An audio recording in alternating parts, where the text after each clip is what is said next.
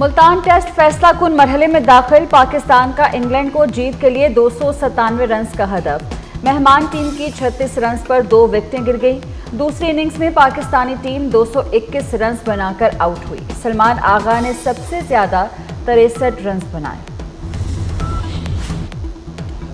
आईनी तरमीम के हवाले से बड़ा ब्रेक थ्रू नून लीग और पीपल्स पार्टी आईनी अदालत की तजवीज से पीछे हट गई।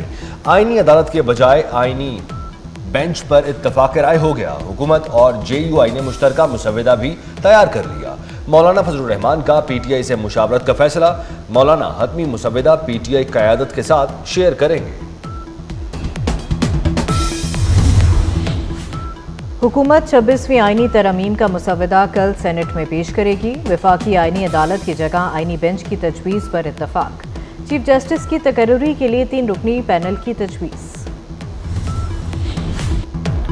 वज़ीर अजम शहबाज शरीफ की ईवान सदर में आसिफ जरदारी से मुलाकात, आइनी तरमीम और सियासी सूरत हाल पर गुफ्तु वज़ीर अजम का हकूमती और इतिहादी सैनिटर्स के एजाज में जहराना, चेयरमैन और डिप्टी चेयरमैन सैनेट समेत अरकान की शिरकत। यूसुफ रजा गिलानी कहते हैं, आइनी तरमीम पर मुजाकर चल रहे हैं। मुजाकर खत्म होते ही तरमीमी बिल पेश कर दिया जाएगा।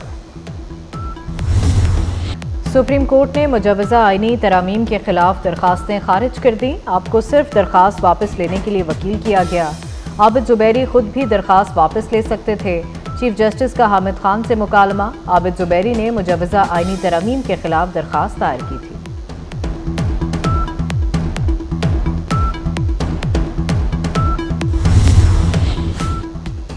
नवाज़ शरीफ से भारतीय सहाफ़ियों के वफद की मुलाकात। वज़ीर अला पंजाब मरियम नवाज़ भी मुलाकात में शरीक थी। भारतीय सहाफ़ी शंघाई ताउन तंजीम के सरबराही इजलास के कवरेज के सिलसिले में पाकिस्तान आए हुए हैं। एस सी ओ सरबराही इजलास का कामयाब इनका। वज़ीर दाखिला मोहसिन नकवी की वज़ीर अजम शहबाज शरीफ और कौम को मुबारकबाद। दाखिला, खारजा इतलात की वजारतों के किरदार को सराहा। सी डी ए और इस्लामाबाद पुलिस समेत तमाम इदारों के मिसाली किरदार की सतश फूल प्रूफ इंतज़ाम पर पाक फौज रेंजर्स एफ़ सी को खराज तहसीन।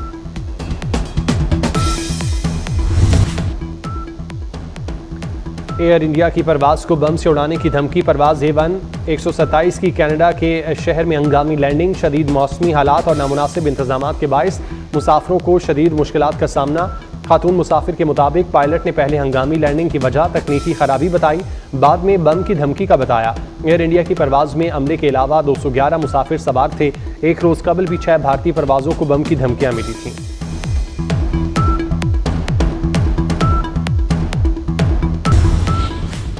वज़ीर ख़जाना मोहम्मद औरंगज़ेब से अमरीकी सफ़ीर डोनाल्ड ब्लूम की मुलाकात, पाक अमरीका दो तरफा इकतदी ताल्लुक पर तबादला ख्याल।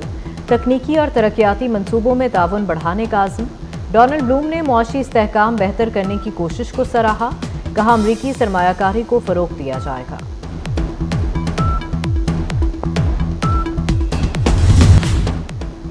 वजी अजम मियाँ शहबाज शरीफ आज अरकान पार्लियामेंट के एजाज़ में जोहराना देंगे। अरकान पार्लियामेंट के एजाज़ में जोहराना दो बजे पार्लियामेंट हाउस में होगा।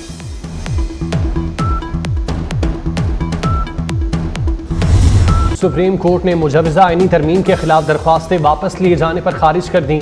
आपको दरख्वास्त वापस लेने के लिए वकील किया गया। आबिद जुबैरी खुद भी दरख्वास्त वापस ले सकते थे। चीफ जस्टिस का हामिद खान से मुकालमा। वकील हामिद खान ने कहा, हम दरख्वास्तें वापस लेना चाहते हैं। सबक सदर Supreme Court bar Abid Zuberi ने मुजवजा आइनी तरमीम के खिलाफ दरख्वास्त दायर की थी।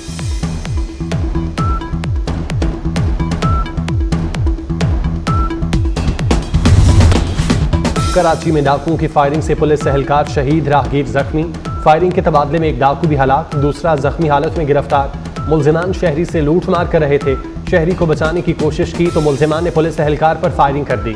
शहीद पुलिस एहलकार अब्दुल गफ्फार, एसएसपी वेस्ट का गनमैन था।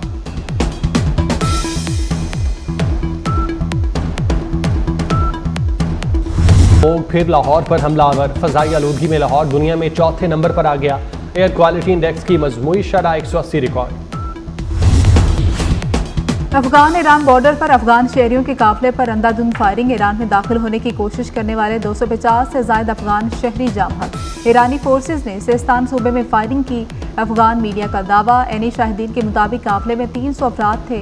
दो सौ सत्तर से जान से हाथ धो बैठे। तर्जुमान अफगान हुकूमत जबीला मुजाहिद के मुताबिक वाक़े की तहकीकात जारी है।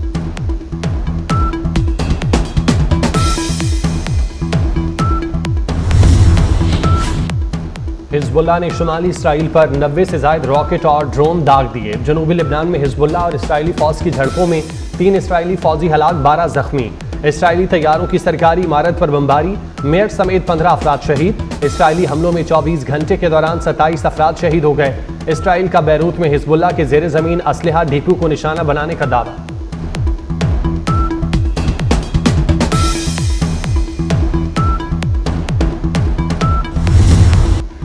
ईरान के पास एटमी हथियारों से भी ज़्यादा ताकतवर हथियार मौजूद हैं। पासरान इनकलाब ने इसराइल को खबरदार कर दिया यहूदी रियासत की धमकियों के तनासुर में न्यूक्लियर हथियारों की तैयारी की इजाज़त दी जाए।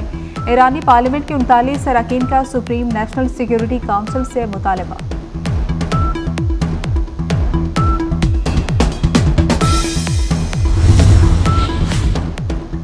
ईरान के लिए जासूसी करने पर इसराइली शहरी गिरफ़्तार। व्लादिमीर हयोस्की ने ईरान के लिए जासूसी और रकम वसूल करने का एतराफ़ कर लिया।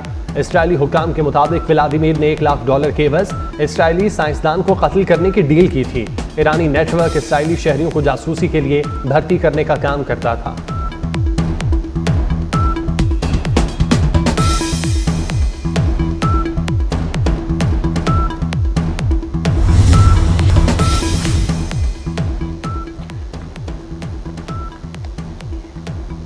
सुप्रीम कोर्ट का डैम फंड की रकम विफाकी हुकूमत को देने का हुक्म, दयामिर भाषा और मोहम्मद डैम फंड केस का तहरीरी फैसला जारी। छह सफात पर मुश्तमल फैसला, चीफ जस्टिस काजी फाइज ईसा ने तहरीर किया। डैम फंड की रकम विफाकी हुकूमत के पब्लिक अकाउंट पर मुंतकिल। सबक वज़ीर अजम शेख हसीना वाजिद के वारंट गिरफ्तारी जारी। बांग्लादेश में पुरतशद मुजाहरों के दौरान हलाकतें हुई थी। वारंट इंटरनेशनल क्राइम्स ट्राइब्यूनल ने जारी किए